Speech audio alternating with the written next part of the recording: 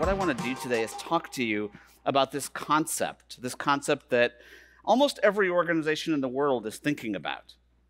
And it's about experience. It's about experience. It could be learning experience, could be employee experience, could be human experience, could be people experience. It could be an experience like sitting on a couch watching me speak. That's an experience, right? Like you guys look really comfortable there. Thumbs up. So, all of that being said, everyone talks about experience, and it's one of the top things on CHROs and CEOs' minds right now. And I want to share with you more about that throughout the session today and give you some tools. Some tools, some tips, and some stories that you can actually take back and use within your organizations. I'm going to start with a video. And I almost beg your forgiveness on the video because you guys have all seen, you guys have all heard, and you guys all know what's going on in the world around us, different in different parts of the world. But I'm going to start with this video, something that we created, and then I'm going to go into a little bit of a story.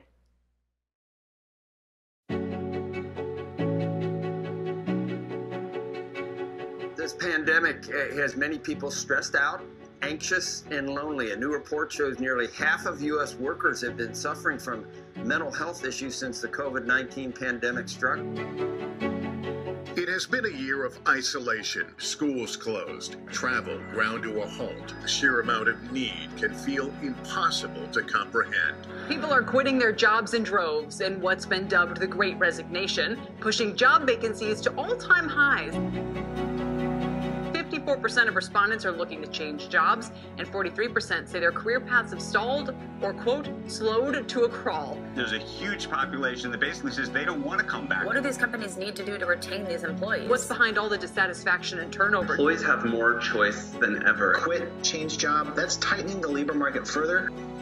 Of the 1.1 million workers over age 20 who left the workforce in September, 80% were women. They've been disproportionately impacted. One in four women are considering downshifting their careers or leaving the workforce. You're having to choose between family and your career like never before. Mothers often work what we called a double shift at home. What we're seeing now is that they're working what we're calling a double double shift. This being home thing is scary. Mental health is at the top of the agenda for pretty much every organization. As healthcare workers are taking care of us day in and day out, who is taking care of them and what kind of mental health toll are they facing? There's been a significant jump in full-time workers in the U.S. who are dealing with mental health issues during this pandemic.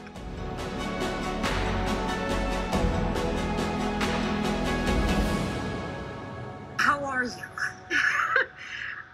I am exhausted. So, you guys, that video shows things that you know, that you feel, that you've been feeling for a long time. But guess what it also talks to? It talks to our need to create experience, to create F, feeling. And you heard numbers of speakers talk about empathy that we're going to talk about throughout. Now, if you take a look at this slide, uh, for those of you that can't see me, that's me actually. But 15 years ago, actually 17 years ago, I got into this particular space of working with organizations around the world because of those two other humans on that slide. Those are my two sons. They're 17 and 14. Uh, they're Ben and Alex. And my goal back then and it's still my goal today, was to try to create a future of work that made sense to them. Does that make sense to you? I know it's weird to say, why you're doing that? That's big.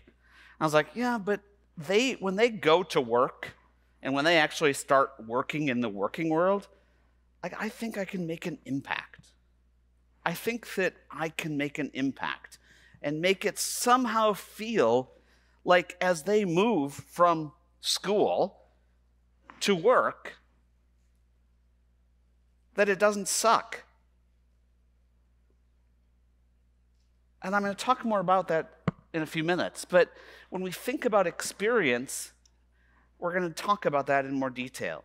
So today, we're going to talk about this concept of the now of work. And I would love it if you take nothing else away from this session, that you start to think about what that term means now of work. I started using it back in March of 2020 when people are like, I wonder what the future of work's going to be. We need to start planning for the future of work. I was like, whoa, it's the now. Like, we're not, we can't think, like, how many of you can predict what the future of work is going to look like in a year? Two years? Four years? Anyone want to come up here and do it? If anyone does, feel free. We, I, we, I don't think you can. But guess what? Think about what year it was last year. It was 2020. And do you remember this thing called Y2K? Were any of you around? Yeah, you were around. Do you know what we started to talk about right after Y2K? This thing called Workforce 2020. Someone remember that? Like we were really cool. We're predicting 2019, 2019 years ahead. And guess what? Everyone's going to be working on a mobile device and having a Target notification pop up saying 20% off clothing and shoes. And oh, cool. I'm going to be wearing a watch that's going to be able to tell me when someone needs me. And guess what? I'm going to be looking at, as Dan did earlier, a box on a screen, and that's how I'm going to be seeing people. If you actually read, go back and do this sometime. Not, don't take too much time, but read what was published in 2001 and 2002 about Workforce 2020. It's exactly where we are today, sans pandemic. Does that make sense? Like, people weren't going to go to the office anymore. Like, whoa, that was actually said? People were going to be looking at each other on boxes on screens. That was actually said. People were going to be using devices. That was actually said. But if you think about it, what did we do over that 18 years to prepare for that? That 19 years to prepare? you're shaking your head.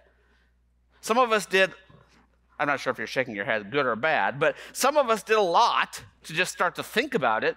But in reality, most organizations are like, we move to the cloud. That's not enough. So, we're going to talk about what that means in the role of experience today. At LeapGen, we're lucky enough to work with organizations around the world in helping them think through this. And I always share this slide not to talk about the slide, but more to talk about the fact that all of these organizations have one thing in common and the thing in common is that they are transforming the people function. Raise your hand if you're transforming your people function today. Shut up. This is going to be interactive, you guys. I told them I might have to get off stage. So, every single person in this room is transforming their people function. Right? Yeah, truly, you are. You're all transforming your people function. Whether you call it that or you not, you're changing. Right? Trans means change. Now, if work has changed, if workers have changed, if business has changed, if life has changed, what should we do as professionals? Stay the same? Probably not. It's probably not the best idea to stay up with the times. Okay, so when we think about that, it's really important to keep that in mind. And what we all do, really on a day to day basis, are these three things we develop strategies, then we deploy those strategies, and then we hopefully sustain the strategy. This is what you all do, right? You come up with a strategy, get buy in, you deploy it. Notice I'm not using the word implementation. Implementation is part of a deployment. Okay, and then you sustain that strategy. You treat your strategy like a pet, not like a rock. Does that make sense? You don't just put it in and say, okay, I'm done with that. You take care of it. By the way, a lot of us do that with software. We put it in, never do anything with it. We're like, oh, no, I'm done with that. Check. Move all the people off the program. Like, we have to think about how do we treat these things like pets, not like rocks. And with all of this stuff going on around us, weird recovery, weird resignation, realization, reshuffle, blah, blah, blah, blah, blah, it makes strategy even A, more important, but B, crucial because we have all these things that are changing. So we've got these categories of people quitting. People are making the choice between good and better. People are making the choice between bad and worse. People are just quitting. Can we save them? In some cases, yes. In some cases, no. Really important to think through. So, in a talent war, like we're in today, and forget the war part, because that's not the right term, we're really in a standoff. And the talent is going to win. Not the employer, the talent, we. I, I never thought about doing this, but I'm going to do it. How many of you are thinking about changing companies that you work for right now? I knew I shouldn't have done that. You know the stats that say 48% or 44%? Like here we only have three people. Because because my boss is sitting next to me or my colleague sitting next to me, et cetera, et cetera. Probably not a good idea to do that. But all that being said, with all these people thinking thinking about quitting or thinking about changing, what should we do as employers? We should think about how do we keep them. We should think about how do we re-onboard them to the new now of work. Did you hear what I said? Re-onboard them to the new now of work. Because the way that they were onboarded before doesn't necessarily meet the way that we work today. And we've seen so much change. We've seen so much change. So, that being said, think about this question. It's 2021 right here, outside of work. When you're at work, what year is it? What does it feel like? Okay, when you go onto your intranet or portal and you type in, I'm having a baby, what's the first thing that comes up? Try it.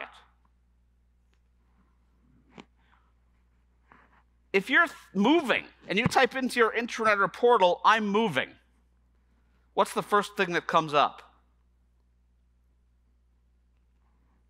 It's not what you're looking for. I guarantee it. When you go to your intranet or portal and say, I want to learn Python, what's the first thing that comes up? In most cases, it has nothing to do with what I'm looking for. We actually did a survey, and you know when we talk, if the people actually go and say, I'm having a baby, you know what comes up? That we offer birth control as an organization. But you know, the, to find out what to do if I'm having a baby within the company, you know what to search for? I'm having a dependent. Think about that for a second. That's HR speak, right? Not, not employee speak, not human speak. So when you think about this, think about how easy is it to get stuff done outside of work?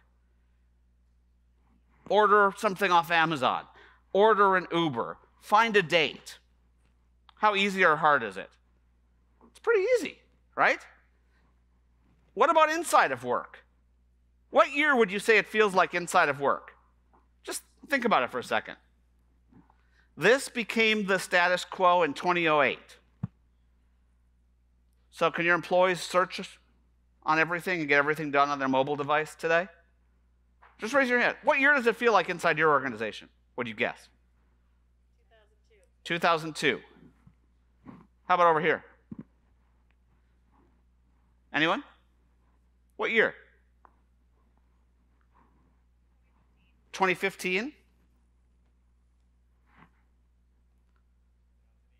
2018? How about you, ma'am? 2018? So, can you talk into your phone and get an answer? I'm moving. What should I do? Can your employees do that? I'm having a problem with my computer. What should I do? I want to take a class on Python. Think about that for a second. That's the experience that we have outside of work. But when we get inside of work, what oftentimes happens? We lose the fact that we're humans outside of work and get into work. So if you think about the past, we had postcards, we had happy hours, we had 1 800 call HR. How inviting does that sound? We have intranets and portals called My HR.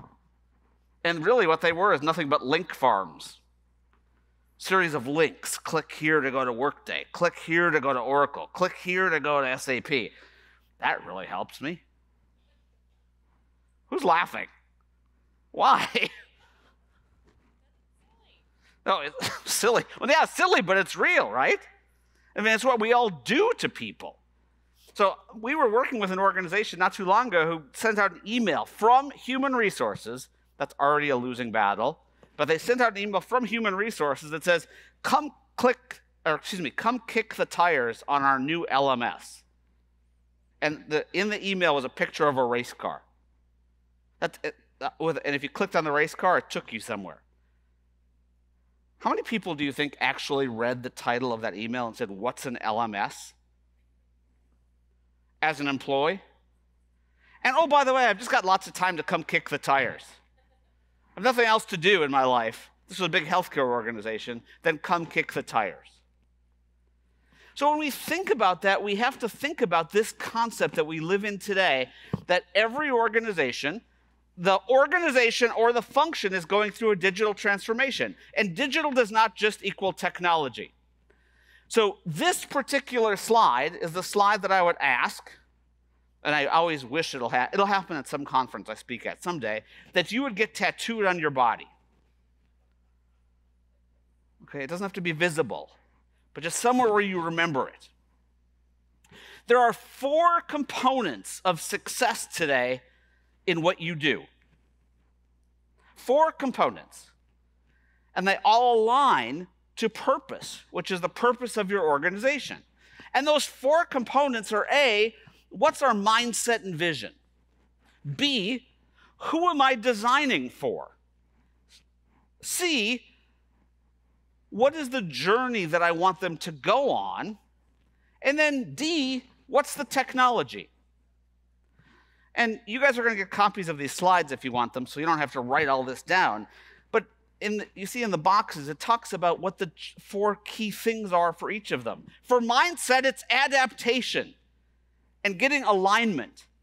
It's fascinating when you work with HR leadership teams and you say, What's most important to you? Recruiting, learning, comp, performance, payroll, HR operations. I'm like, Oh, everything's most important. No, you need to get alignment and agree that, by the way, some of the stuff we're doing might not be stuff we should do anymore in this new now of work.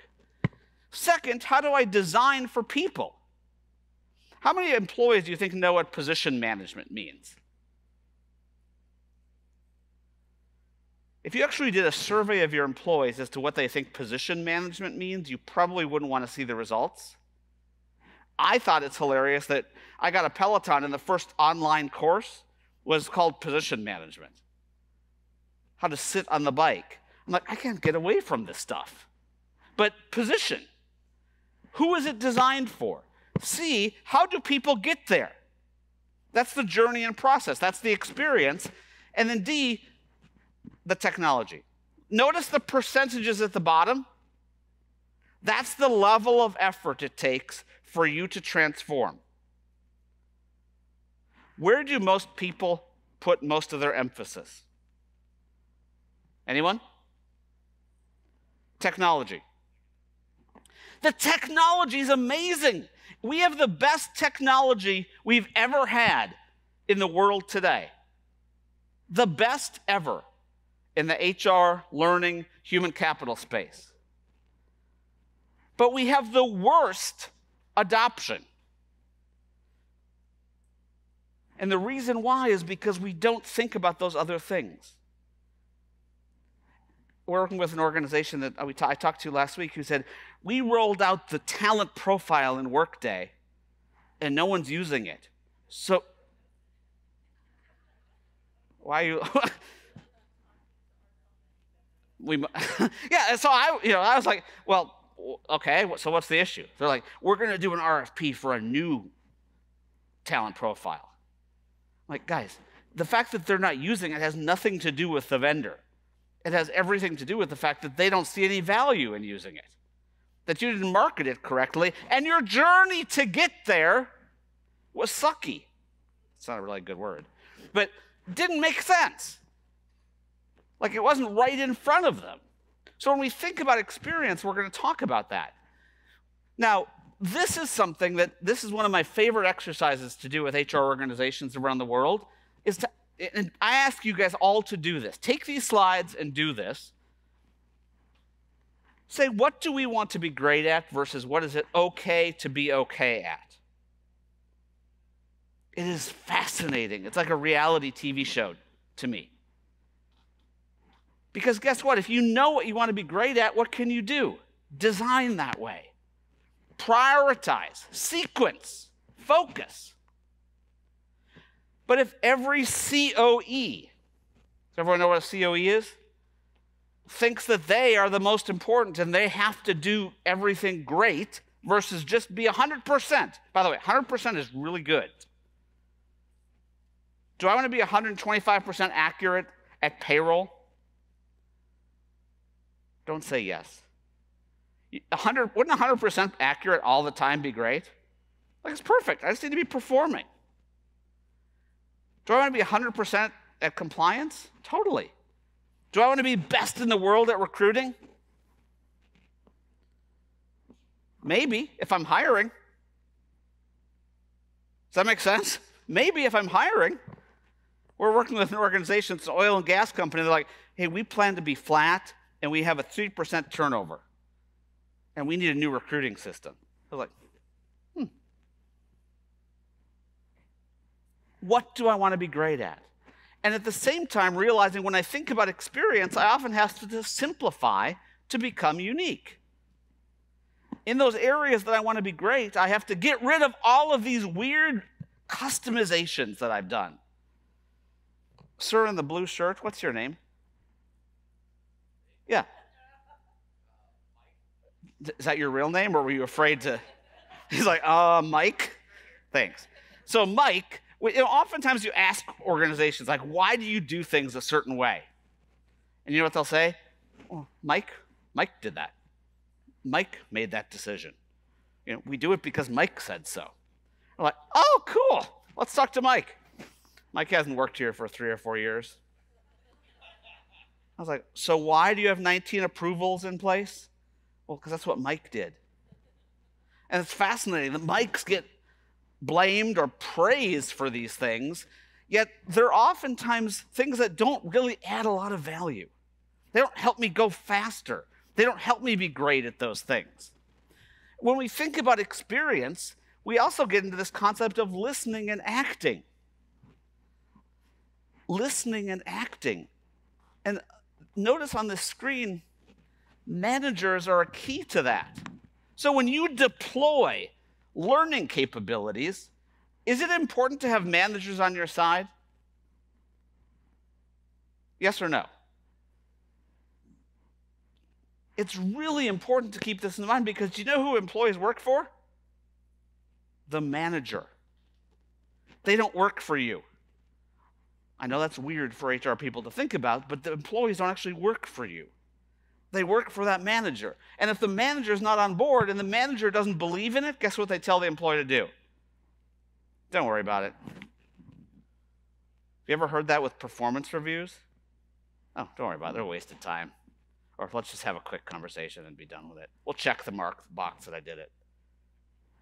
So managers need to be front and center and they need to listen and act.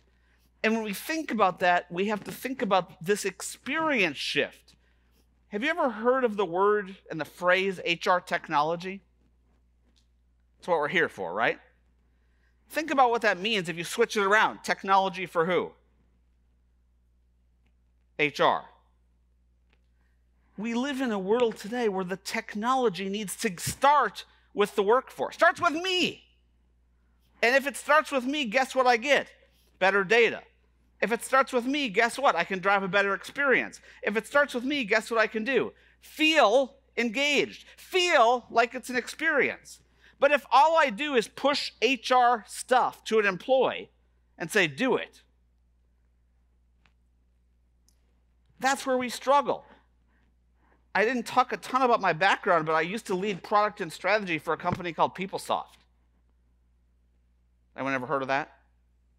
It's always interesting to know when you're too old, when people don't hear of the companies anymore. Anyone ever hear of DOS? It was when I was with Ceridian Corp or Control Data or Ceridian Corporation. But at PeopleSoft, we rolled out this thing called self-service, and people are like, no one's using it. Gartner said we were the best in the world at self-service, and that CHROs and CIOs would say, no one's using it. Do you know at that time? That was the time where, I don't know if you remember this, but America Online CD-ROMs used to fall out of magazines. You used to have these things called 2400 baud modems that if you actually got connected and the other line rang, it would disconnect you. Some of you have no idea what I'm talking about. But the reason that people didn't use self-service because it was like, seriously? Like, I'm going to get online on a phone line and do it. And we still work with organizations that have people PeopleSoft. They're like, why doesn't it work on the iPad? Why is this old version not work on the iPad? There was no such thing as an iPad in 1999. Everyone gets that, right? Most of our tools were not designed in a B2Me model. So today, today, one of the things that we need to do is shift our focus from just getting people connected to building connection. Shifting from just getting connected is like, oh, cool. If everyone's got access, we're good. To how do we build connection with people in a digital manner? guess what? If I do that, they're going to be ready to talk about their skills. They're going to be ready for us to deploy capabilities to help them be better. They're going to give us data so that we can make a personalized experience. But if we don't do that, guess what? We're fighting a losing battle. We can buy all the technology in the world.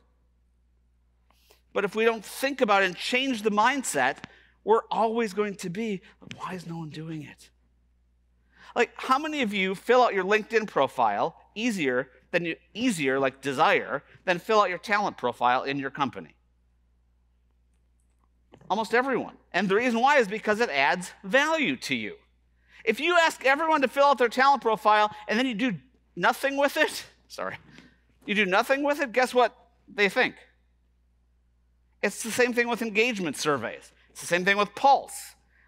If you don't act, back to the other word, people aren't going to do anything with it.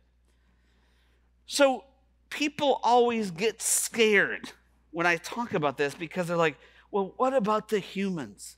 We work with organizations that have business partners that are like, digital is going to take away my job. Digital is going to enhance your job. Does that make sense? Digital is not going to take away your job. Digital is going to enhance your job.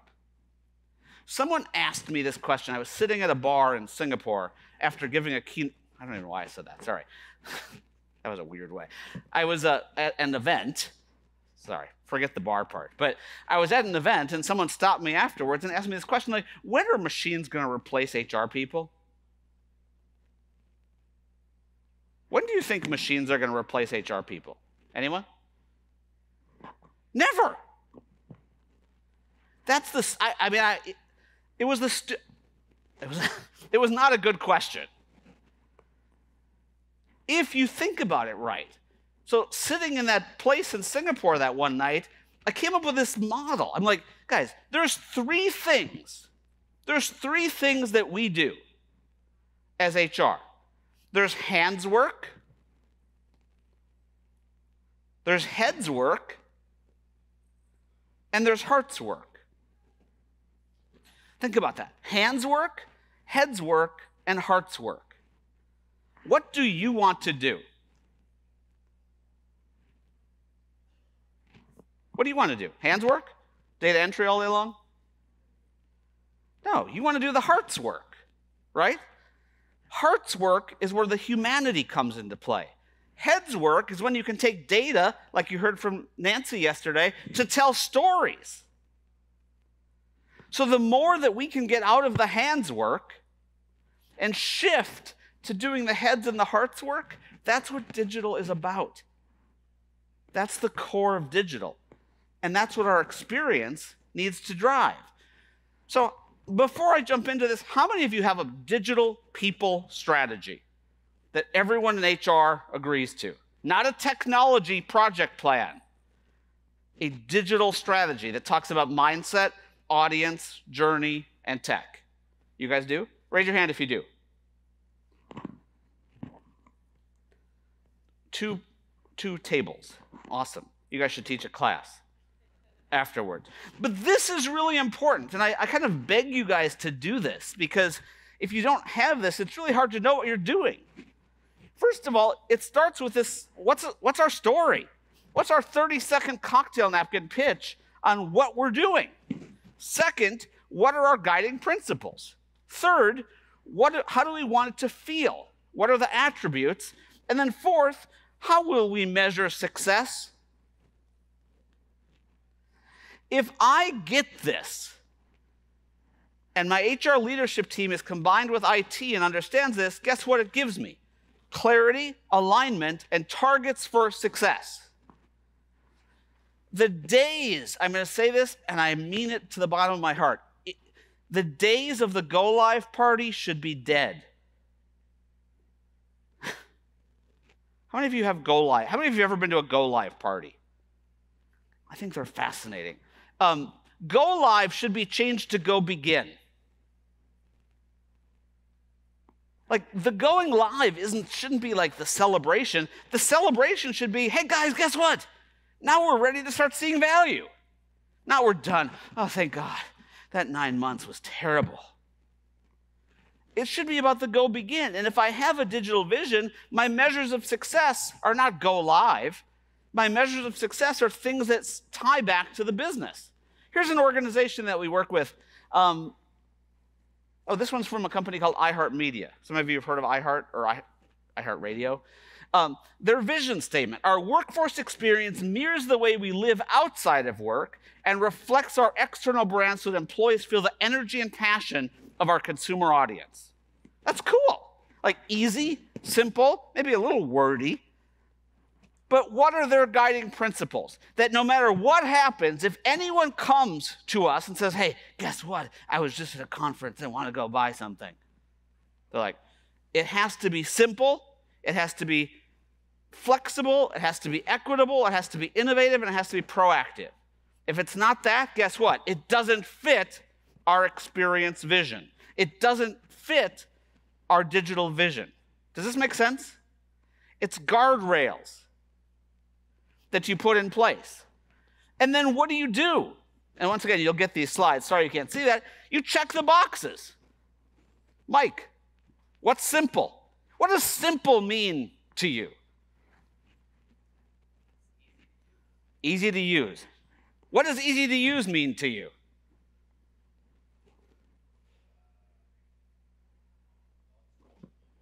I'm sorry? No instruction needed. Great to check the box, right? Check the box. We achieved that. Okay? What does engaging mean? Someone say, hey, guess what? It needs to be engaging. What does that mean to you? These are hard, right? But if you think about them and do them, this is the number one thing we do with organizations. If you create this, then you've got your check boxes to understand whether you're successful. So, as we get into the experience discussion, as work doesn't look the same, HR can't look the same. And if we look at the wish list of what people are talking about today, employee or human experience is right there at the top. Employee experience matters more than ever. One of the big mistakes we make is we think that experience is just the user interface. Did everyone hear what I just said? We think ex- employee experience equals user interface. a couple things I'm going to share with you. First of all, you should never call your employees users. How many of you do user testing? User acceptance testing? That's not right. It should be humans, it should be people. They're not users. Okay, very important to keep in mind. But we live in this world where, because of this, experience matters more. And what we need to do is get this into our head that it, the days of just implementing tech are over. What people care about when it comes to experience is deploying capabilities. The best way to do that, and you heard someone talk about this earlier today, is design. Design for the empty chair. This is a concept that Amazon made very, very famous. And what is the empty chair? The empty chair is this. When you're in a design session, look what this is. This is an empty chair. I'm rolling out a new tool, a new capability. Who do I want it to make sense to? The empty chair. Not to me, but to the empty chair. And guess what? I somehow made the decision to do this thing called minimum viable product. Have you ever heard of that? Uh, we don't have time. We just have to do minimum viable. Sorry, chair. Do you know what the chair does to minimum viable product?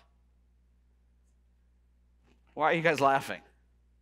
It's the exact same thing you do when you download an app that you don't like. What do you do? Delete it. How often do you go back to see if it gets better? You don't. Why don't you like it? Because someone said, oh, I'm just going to roll out minimum viable because that's that's what I have time for. That worked fine when our audience was us because we could roll out crap to us. But when the audience is that chair who has another job, it needs to be minimum lovable product. MLP, not MVP. Does that make sense? Because they have to buy into it. And then over time, guess what? It's going to shift from thinking about adoption to addiction. How many of you are addicted to an app on your phone? Anyone? No, this is where people don't raise their hand either. I don't even know why I asked that. Some. But you know, if you think about it, like, do you know that every single day these apps get better? Do you ever look at your app store like 77 updates? Because they do a little thing. Now, every time they do that, you don't go through change management training, email read. How many of you read all those notes? Oh, they're just there. Because guess what? You're already addicted. So keep using it. No, it just gets better. But if you roll out minimum viable, you don't have a chance. And that's really important when we think about humanity. So ask yourself this question always. We're humans outside of work, yet inside of work, are we asking people to do unhuman things? How many of you have kids? Raise your hand. How many times a year do you ask your kids how they are? Once? No. How many times a year do you ask your employees how they are? Mike, once? That's unhuman.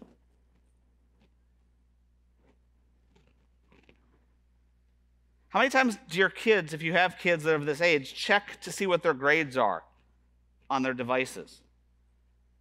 Every single day. Because they want to, in fact, mine want to get a heads up before I do so they can tell me that something's missing. Do your employees do that? Can they see how they're performing? So, outside of work, we're humans. We have all these abilities. Inside of work, we're unhuman.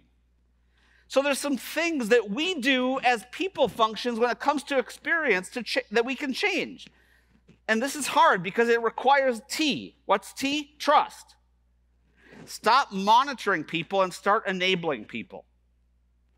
As key goals, stop checking up on people like I mean, there's someone I talked to last, there's a company I talked to last week that said, right now, because of this whole return to work thing, which is the stupidest term ever, this return to office thing, which is better, that people are actually, the company is taking attendance to see if people are coming in. Desk workers taking attendance. Sorry if that's any of you. That's checking up on people. We need to check in on people and ask them three a question that's just three words. How are you? Mike, how are you? Good. It should be that easy. Green, yellow, red. Are you green? Are you yellow? Are you red? Green's good, red's not good. You're probably green? Okay. How about you? What are you, ma'am, in the red shirt? Okay. Green? How about you next to her? Green? How about on the couches? Okay. But what would you do if someone's red? Sorry, you have to leave. No, you'd work, you'd help them, right? But guess what that is? Data. Data in real time. How many of you think data is sexy? It's a really weird question. I get it. But data is the sexiest thing we have. Not we as people, but we as a function. Because what we can do with data is start to really design and not just count people, but what? What's the other part of that phrase? Not just count people, but make people count.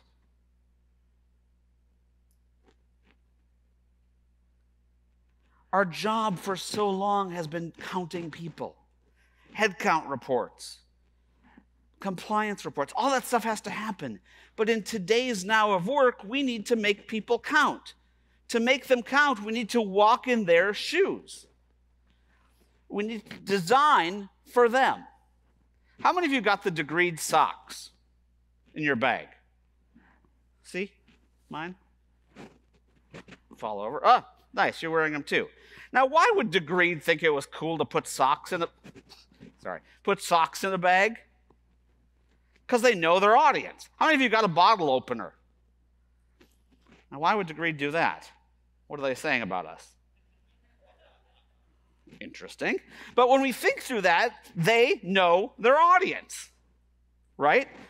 Do we know our people enough to start thinking about that, which is the concept of personas. How many of you use personas? Personas are a way of life for us in, that we should work with every day. What personas allow us to do is infuse empathy. If someone says, How do we be more empathetic when it comes to work? Focus on personas. Why would a persona infuse empathy? Anyone? because you're asking questions about a person and you're able to talk to them. Like, your shoes are amazing. They're Adidas, and you have Pepsi socks. Do you work for Pepsi? So, how do you feel me calling you out like that? Weird, but yeah, but think about that from a persona standpoint. Look at how I can communicate. Because I'm kind of understanding her, taking a little bit of time. But if I didn't see that, what would I do? Who knows? Do we know what our employees want? When we think about personas, here I, I, included in the deck a couple personas. We work with an organization called Land O'Lakes. Have you ever heard of Land O'Lakes? Dairy co-op organization. And basically, you know, here's Hannah. She's a person who wants to do things uh, by for herself She's in the office, but look at that quote. My onboarding was a mess. I wish I had someone to reach out to, but I didn't really know anyone besides my manager. Guess what I can do if I know Hannah? Design for Hannah. Here's Naya. Naya is an employee that wants to move up in the organization. What's she thinking? Guess what I can do if I know what she's thinking? Design for her it leads us to this discussion about processes and journeys. You heard a speaker earlier talk about journeys, and someone asked about journey mapping. We've been so focused on pro- who are, what do processes do? Processes generate data. What do journeys do? Journeys generate feeling. Processes generate data, but journeys generate how I feel. If you go online, Mike, what's what's the last thing you ordered on Amazon?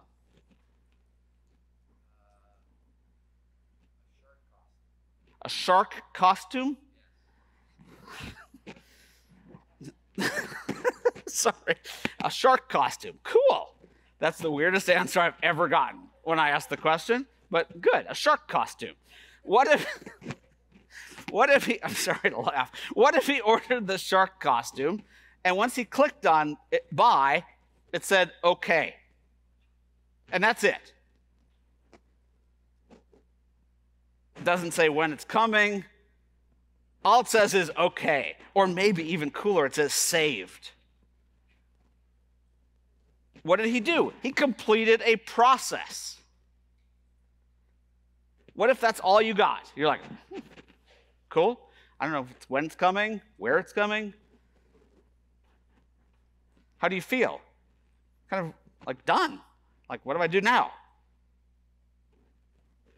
That's a process. Think about the journey. Once he orders the shark costume, what comes into his email?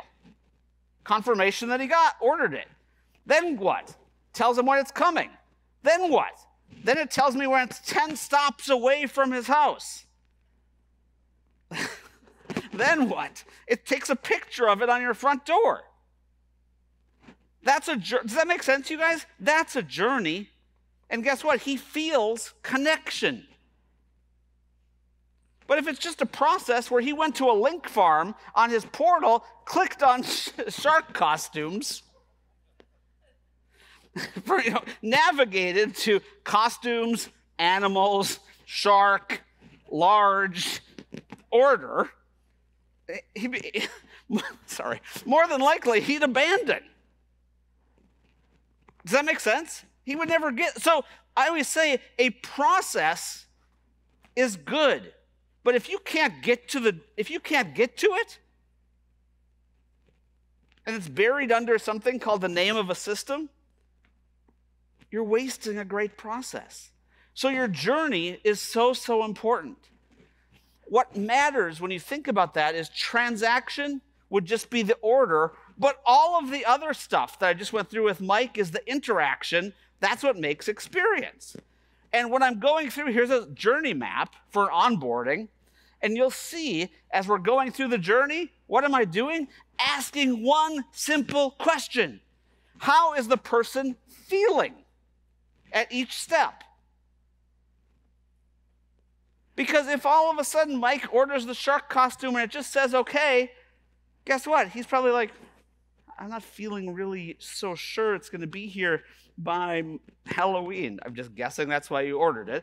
But or my shark costume party or whatever it was I was going to. I'm just guessing that uh, that, that it's going to be here. And that guess what? He starts to feel yellow. And then all of a sudden right before Halloween and it's not here and he can't dress as a shark, he ends up dressing like a cowboy. And the theme was a shark costume party. Guess what? He's like, wow, now I feel red. And then when a recruiter calls him, what's he do? Yeah, I'll talk to you. I'm really frustrated with how things go here. I feel red. Now, I mixed analogies there, but does that make sense? If he abandons, if he doesn't feel good during the journey, it's hard. And when we're thinking about those personas, what's so important and what people are struggling with right now is this is this whole concept of return to work or return to office. What is that? We're only taking into account the physical component. We're not taking into account the emotional component. How do you feel? The social component. How do you want to collaborate? The spiritual component. How does it tie to my values? And then the learning or the knowledge component to it. How many days does it take to build a habit? Does anyone know this? Somewhere between 20 and 70. Let's use 70. How many days have most people been away from the office if they're a desk worker? More than 70. Guess what? They changed. There's no snap, up, oh, done. We're going back. People learn new ways of doing stuff. And guess what? It worked. Stuff they probably should have done all along. So, in these slides that you'll get, what's the physical part of it? It's where we work. What's the emotional part? It's how we feel. The social part, how we build relationships. The spiritual part, are we tied to our values? And the intellectual part, how do we continue to grow? And so often we forget that the whole person is who we're designing for, not just one component. So in today's world, everything is part of this concept of a digital workplace when we think about experience. You all own the digital workplace. And what does HR need to do right now? What can you do right now? Go back and focus on experience, not technology. Every HRIS function in the world should be renamed and focus on experience. Solutions, not just tools. Enablement, not just monitoring. People, not just capabilities, and outcomes. Could you turn up the lights again? Whoever's doing all that? Thank you. I'm sorry I was moving on and off stage. How many of you have changed your vision, your direction, what matters to HR in your organization in the last six to 12 months? Raise your hand high if you have. Raise your hand high if you feel like you're still doing the same old thing you were doing before.